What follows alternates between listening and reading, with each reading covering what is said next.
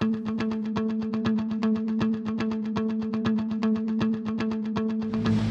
Hamiltonian, what happened?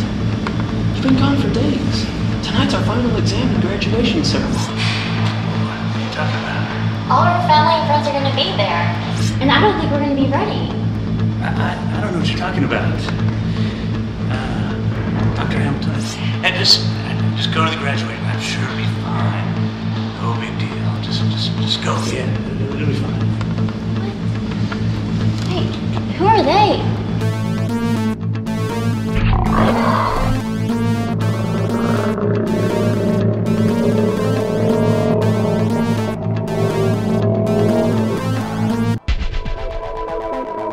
They're an incredibly mysterious bunch, very focused and smart.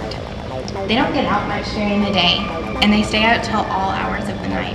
They call themselves the Euclidean Math Club. I hear it's really hard to get in. Yeah, what I hear.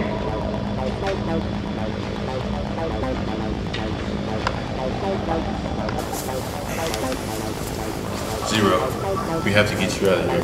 They are aware of your presence. You have been compromised.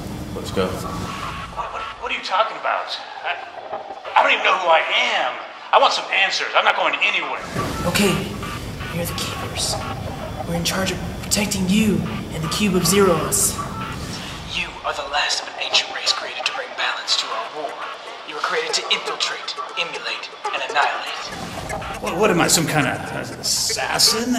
What? Yes, the Cube of Zeros in your bag is a powerful device that allows you to emulate the powers of others. It cannot fall into their hands. We have to go now.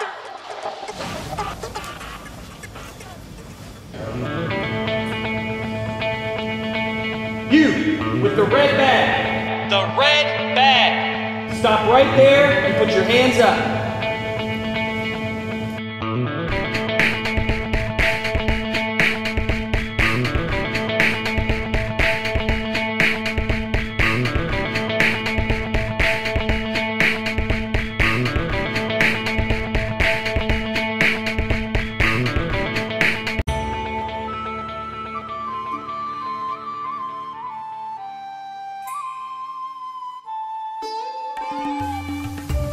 Wait. Wait. Who who am I? The, the bag. The bag was empty. What is the cube of zeros? The cube of zeros. The cube of zero is Zero.